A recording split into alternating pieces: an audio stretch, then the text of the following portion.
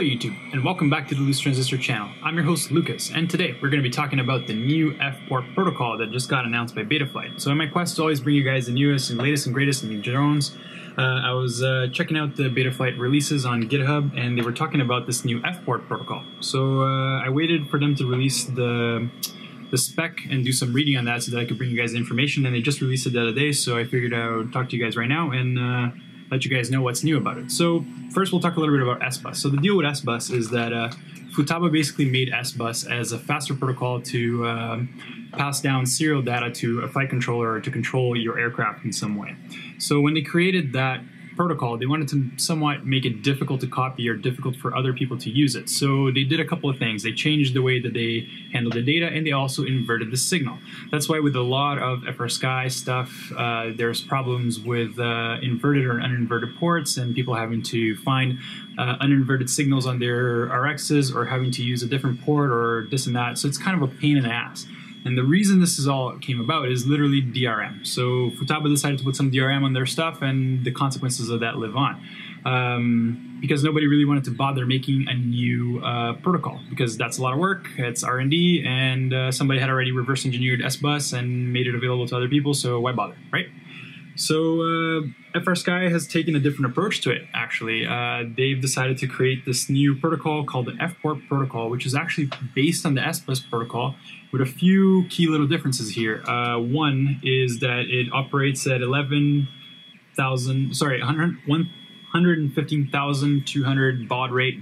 So it's faster, a little bit faster than the standard S-Bus port, but that's because it's also carrying your telemetry data.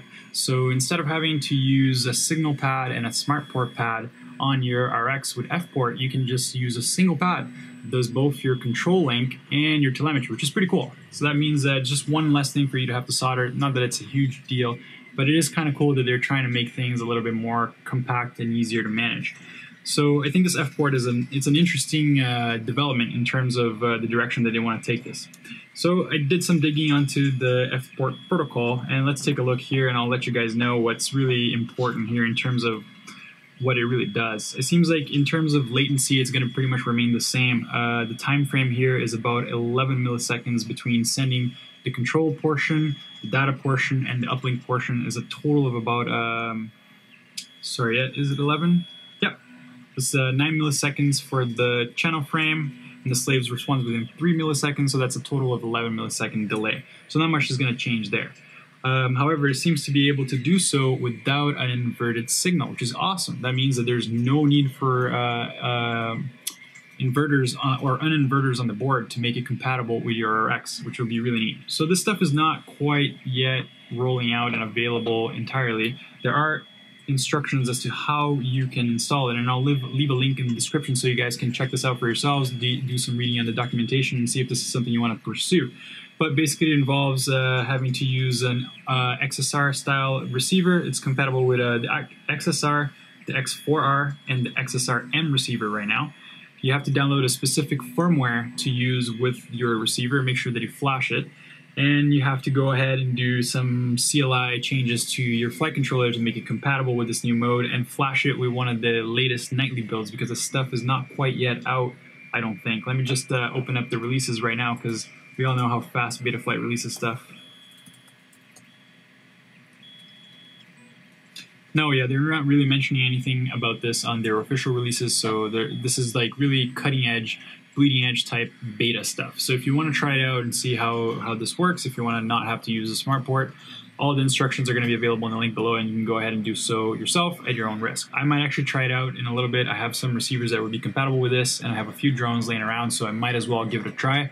And if I do do so, I'll definitely update you guys and let you know how it's going. So yeah, guys, that's pretty much it. I just wanted to let you guys know that there's this new cool protocol out there. You might want to do a little bit of reading about it and might want to check it out, but uh, definitely something to keep an eye on out because I'm sure that more and more uh, both Betaflight and FrSky are going to keep pushing this direction and we'll see more of this type of integration. I personally like the idea of not having to use a smart port uh, pad and just having and being able to do it all through one single connection sounds pretty awesome to me. So, guys, uh, that pretty much covers it in terms of this topic. Uh, the next things that I'm going to be bringing to you guys in the channel are actually going to be a little bit of a series on the DRL. So, I've been doing some of the fast lap times on Rotor Rush. which has been super fun. But uh, I've finally got uh, DRL working again on my computer, and I've been trying to beat some of the times there and try to compete with some of the top guys. And there's some pretty damn fast times there. So I'll be putting those uh, down below as well. And I'm hoping to get a build going in the next few weeks if possible. But uh, it's just been really, really busy, really hard to get time to actually dedicate to filming that sort of thing. So, guys, as always, thanks for watching. I'll catch you next time.